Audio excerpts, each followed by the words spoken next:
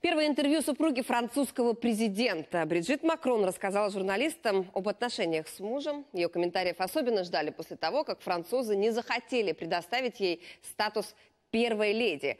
О чем поведала, узнаем от Елены Абрамович. Я не чувствую себя первой или последней или леди. Я Брижит Макрон. Так отреагировала жена французского президента на нежелание граждан предоставить ей официальный статус. Это американская традиция, с пониманием объяснила Бриджит. А во Франции никогда раньше не было первых леди.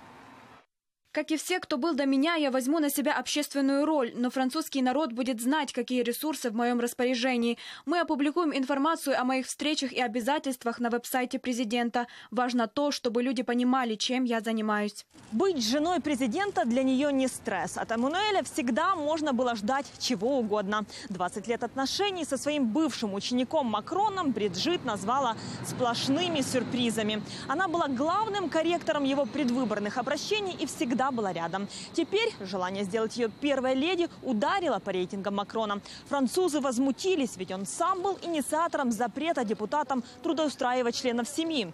За 100 первых дней правительства поддержка населения упала с более 60% до 37%. Надо подождать, что будет дальше. Со стороны кажется, что все нормально, но внутри страны мы все еще в ожидании. Посмотрим через 100 дней.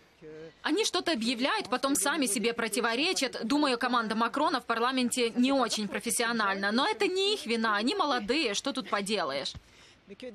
Возраст – единственная проблема в отношениях Бриджит и Эммануэля Макрона, пошутила супруга президента.